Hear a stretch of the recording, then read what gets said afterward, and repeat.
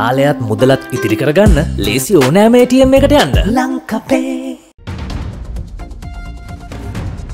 හැමදාම බැටකන රෝගීන් අපිට සල්ලි නෑ අපි බොහොම අමාරුවෙන් ජීවත් වෙන්නේ.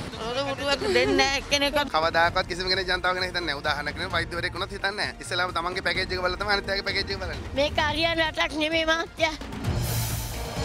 අංගොඩ යැවූ සැකකරු මම හැමදාම නිදහස් කෙනෙක් කෙනවා ඔක්කොම ඉන්න හිරේවෙන් අහස උසට නැගි එලවලු අද තියෙන කැරට තියෙන රුපියල් එදස් වන්සේදන් දෙදහ වෙනක බෝංචි තියෙනවා රුපියල් අටසීය අටසය පණහට තියෙනවා.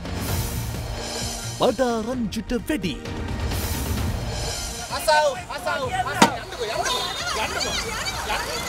කෙහෙලියගේ විරෝධයට ආ කාවින්දට ඌදේ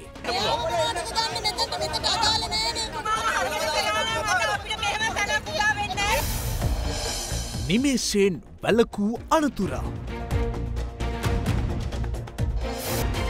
අද දෙරන හයයි පනස් පහට.